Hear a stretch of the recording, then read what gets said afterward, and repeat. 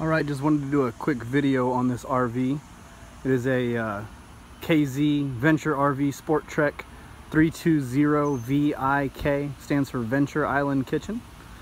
So, little side view, just gonna walk around real quick, just show you. There's two propane bottles on the front, LED light right here.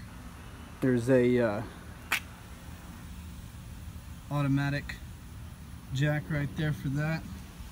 You got two big slide outs over here. I'll come to the other side. Show the outside. You can see the LED lighting up there in the awning. Storage space all the way through here. Slide out a light with uh, two outdoor speakers. You got some uh, blue lights down here for lighting at night. You see there's two doors. One door that goes inside here. And this door goes directly to the bathroom. So that way if you're out at the beach and you got sand or something on your feet or people are dirty, you don't want them wasting your air conditioner, you can uh, have this door open. So you've got light there, vent, air conditioning, little tub, sink, mirror with some storage space. And this is where all your the gauges are for your tanks. Walk back out here and show you the outdoor kitchen. So we've got a mini fridge here.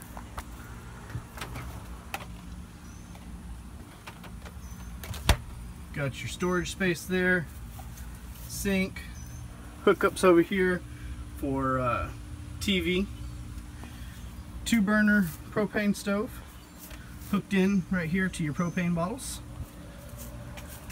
Back here you're going to have a ladder that goes to the top and a rack there that holds 250 pounds. Back here you've got plug-ins for both cable and satellite and if you have a solar panel you can plug it in right there go ahead and keep your battery charged.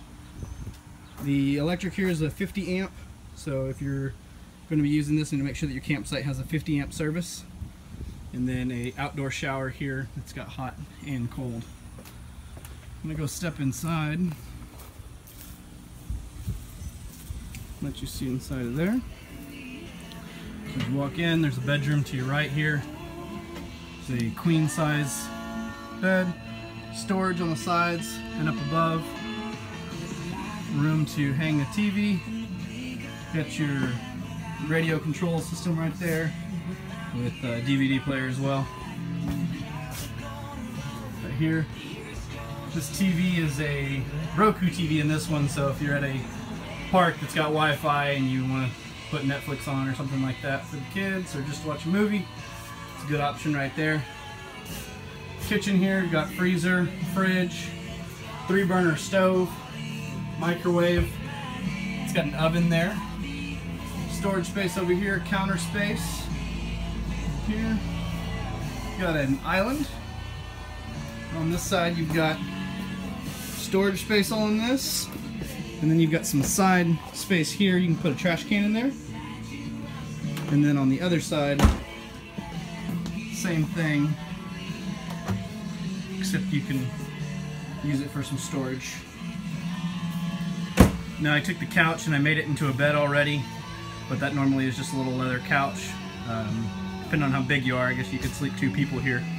And then this is the dining room table that I took down and made into a bed as well. Again, you can probably fit two people here, two kids, uh, so you can sleep quite a few people just in here. The table is the little support right there. So if you had two people here, two people here, two people in here, that's already six. And then back here, this is the door that goes into the bathroom. Real quick before I forget, you got an AC unit that's right here and an AC unit that's also up here. A TV backer location with hookups if you want to put a TV inside of the bedroom. Alright, and then into the back. That table right there comes up, but right now that's a little couch area. You can use this table This bunk bed actually lifts up and hooks right there so that way you can sit here as a couch or if you want to use it as a bed right there. You got a bed right here and another bunk back here. So you've got four beds back here. You also have a little space with hook-ins for a TV and some little storage down in here. And uh, all of these bunk beds, very soft. They're the Teddy Bear Bunk series. Really soft. You can probably just see the fabric.